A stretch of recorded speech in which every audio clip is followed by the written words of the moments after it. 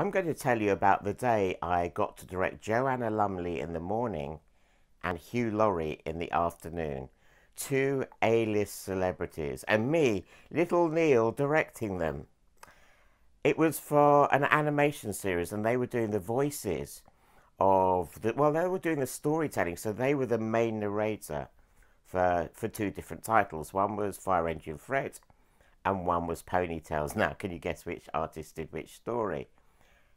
And they were both professional, brilliant, talented, and very, very different to work with. Now, Joanna came in in the morning.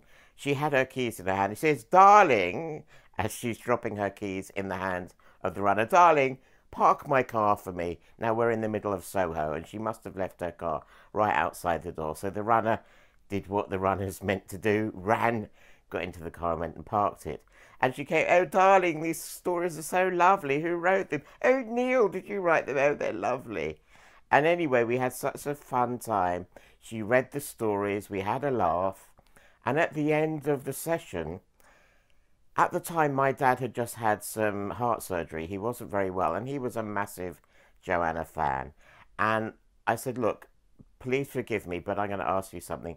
Would you be willing, and I had the card already, would you be willing just to write a get well card for my dad? He's a massive fan of yours. Um, he's just had some heart surgery. It will make his day. And she said, Oh, darling, of course. What's his name? And my dad's name's Nigel. Oh, Nigel, I do hope you get well soon. Lots and lots of love, Joanna. And that was lovely. And she went off and she had done her morning's work. We had some lunch and in the afternoon, we were sitting in the dubbing studio, and this guy in black leathers and a black helmet walks in, takes his helmet off, sticks it on the desk, and says, Right, what do we do? Walked straight into the recording studio, got the script, did it brilliantly, as he did, because a real professional.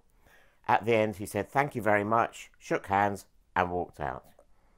Two very, very different ways of working but two very, very great performances, talented people. And I can really get to see why Hugh Laurie gets to play some of the parts he did. Now, I found out afterwards he had been on a transatlantic flight and arrived that morning at Heathrow, so he was probably a bit tired and a bit jet lagged, but it didn't get in the way of his performances. So there you go, A list celebrities, they're all different, they're all wonderful in the way they work, and you just have to be flexible and accept that the way they are is the way that they are. And I did, and I got a great product from them.